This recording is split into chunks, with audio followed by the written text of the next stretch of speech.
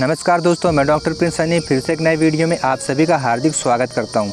दोस्तों, आज हम लोग रिव्यू करने वाले हैं जोकोन 400 सौ एम टैबलेट्स का। सो गैस हम लोग यहाँ पे ये जानने वाले हैं कि जोकोन टैबलेट्स का यूज़ क्या होते हैं, इसका मार्केट प्राइसेस क्या होता है, इसका डोज क्या होता है, इसके साइड इफ़ेक्ट क्या होते हैं। और यह मेडिसिन किन पेशेंट को देना चाहिए और किन पेशेंट को नहीं देना चाहिए। सो गाइस टाइम वेस्ट न करते हुए हम जानकारी को शुरू करते हैं। दोस्तों, जानकारी शुरू करने से पहले एक रिक्वेस्ट है। यदि आप मेरे चैनल में पहली बार आए हैं तो प्लीज़ चैनल को सब्सक्राइब कर लें और साथ में बेल आइकन को भी प्रेस कर दें, क्योंकि ऐसे यूज़फुल वीडियोज़ मैं अक्सर लेकर आता रहता हूँ।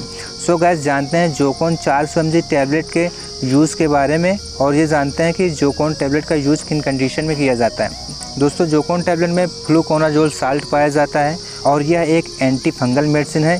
यह मार्केट में बहुत सारे ब्रांड नेम से अवेलेबल होती है, जैसे कि यह आपको जोकोन नाम से भी मिल जाती है फ्लूका नाम से भी मिल जाती है एफ़ नाम से भी मिल जाती है, यानी बहुत सारे ब्रांड नेम से यह मार्केट में अवेलेबल होती हैं। अब दोस्तों, बात करते हैं इसके यूज़ के बारे में, कि इसका यूज़ किन कंडीशन में किया जाता है। दोस्तों, इसका यूज़ जो है, जब हमें क्रोनिक फंगल इन्फेक्शन होते हैं, जैसे कि दांत, खाज, खुजली वगैरह एसका बीस हो जाता है शोराइसिस वगैरह हो जाते हैं तो उस कंडीशन में इस टैबलेट का यूज़ किया जाता है। महिला में वजाइनल इन्फेक्शन की वजह से उनके वजाइना में भी स्किचिंग होती है, वहाँ पर खुजलाहट होती है तो उस कंडीशन में भी इस टैबलेट का यूज़ किया जाता है। सेम कंडीशन पुरुषों में भी हो जाती है, उन्हें भी गुप्तांगों में खुजलाहट महसूस होती है तो उस कंडीशन में भी इस टैबलेट का यूज़ बहुत ज़्यादा किया जाता है। और दोस्तों, यह मार्केट में 50 एम जी सौ एम जी एक सौ पचास एम जी दो सौ एम जी और 400 एम जी में मार्केट में अवेलेबल होती है। सो गैस अब हम जानते हैं जोकोन यानी फ्लूकोनाजोल टैबलेट के डोज के बारे में कि इसका डोज पेशेंट को किस प्रकार से दिया जाता है। दोस्तों, एक एडल्ट एज वाले व्यक्ति में इसका जो डोज है, वो फ़र्स्ट डोज 200 सौ का होता है और इसके बाद चौथे दिन जो सेकेंड डोज होता है, वो 100 एम का होता है। और जो सेकेंड डोज होता है, वो हम हर चौथे दिन सौ सौ एम का देते हैं और यह मैक्सिमम दो हफ़्ते तक पेशेंट को दिया जाता है।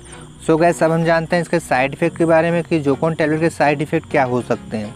दोस्तों जोकोन टैबलेट के साइड इफ़ेक्ट की बात की जाए तो जैसे कि पेशेंट को नोज़े महसूस होना, उल्टियाँ महसूस होना और हेडेच महसूस हो सकती है और एब्डोमेन पैन भी हो सकता है पेशेंट को थकान भी महसूस हो सकती है, ये इसके साइड इफ़ेक्ट होते हैं।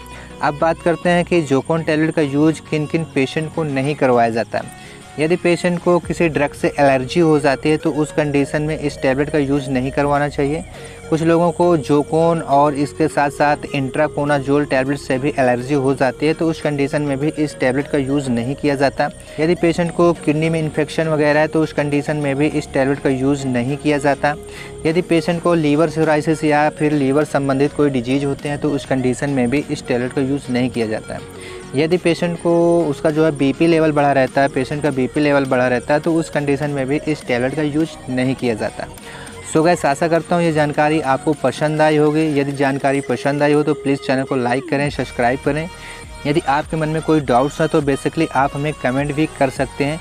जैसे ही मुझे टाइम मिलेगा, वैसे मैं आपके कमेंट का जवाब देने की कोशिश करूँगा। सो गैस इस वीडियो में बस इतना ही। फिर मिलता हूँ मैं अपने नेक्स्ट वीडियो में। तब तक के लिए बेस्ट ऑफ़ लक